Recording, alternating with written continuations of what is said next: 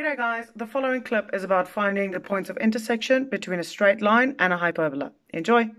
Finding the points of intersection between a hyperbola and a straight line, it's very important to identify how many points of intersection there will be. So when looking at this equation, or these two equations and the graph, we can see that the hyperbola is in green and the straight line is in yellow. The points of intersection would be up there as well as down there, which means we're going to need two points of intersection. Very important for you to be able to apply this correctly. We need to be sure to understand that where two graphs cross each other at those specific points, my x and my y values for both graphs would be exactly the same. So there are two ways of finding the solutions or the coordinates for the points of intersection. The one is using the graphics calculator and the second one is doing it algebraically. So for us to be able to use the graphics calculator, we first need to do a little bit of algebra before we can use it. So the first one we're going to do is we're going to do the algebraic way of finding the points of intersection. The first step is find and rearrange the quadratic equation. So what that means is we need to find the points of intersection or the quadratic equation for that. And we know that at those points, my x and y values are the same. Therefore, we're going to put the x side of my equation of both equations equal to each other. So we're going to start with 2x minus 3 is equal to 8 over x. Now we need to rearrange this to be sure that we can find a quadratic equation.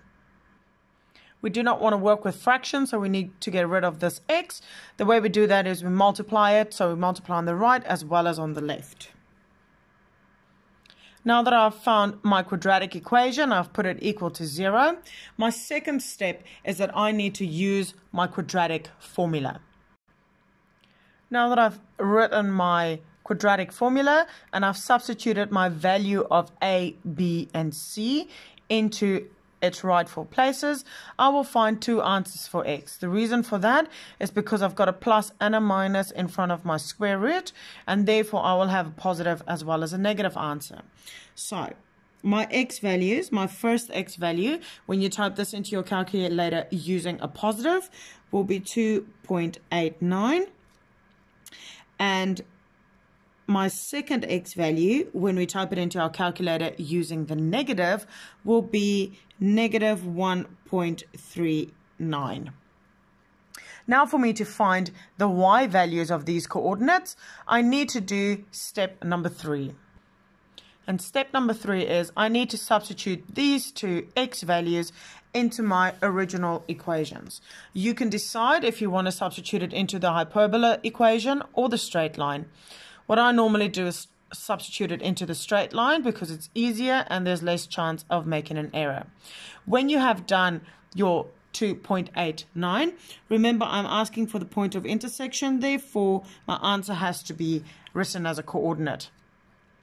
This one will be 2.89, the x value with a y value of 2.78, and my second coordinate with an x value of negative 1.39, my y value will be negative 5.78. This is how we find the points of intersection algebraic, algebraically. Now we're going to find it using the graphics calculator. When using the graphics calculator, these are the steps we need to use. So step one is we need to go to menu. So the menu button is there, press menu and this is the screen you will see. This is the screen you will see. Step two is we need to go to equations. On this calculator, equations is down there. So after you've highlighted that one, press enter and this is your screen. Step number three is go to polynomial. On this calculator, it will be F2. So I'm going to press F2. Then it asks you how many degrees you want, how many unknowns. Therefore, I am going to press 2 because that is what I want. In this case, it's F1. Now I have my equation written in ax squared plus bx plus c is equal to 0.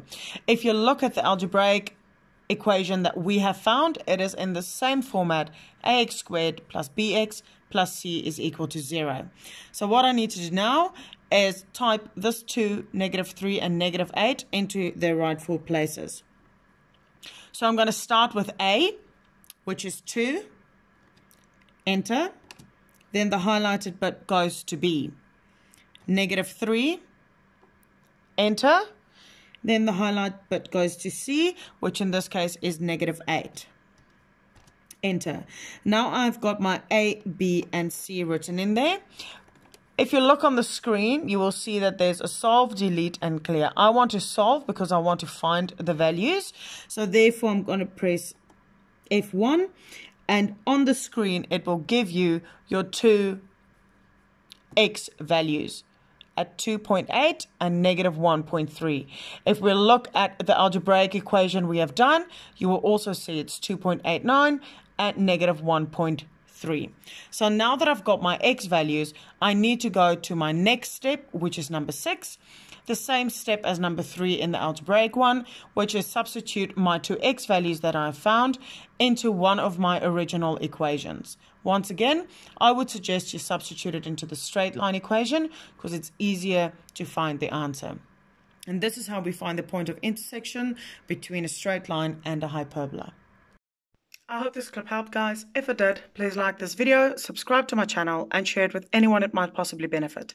If you've got any questions, please drop it in the comment section below and I'll get back to you as soon as I can. Also find the link to the quadratic formula over here. See you next time. Bye!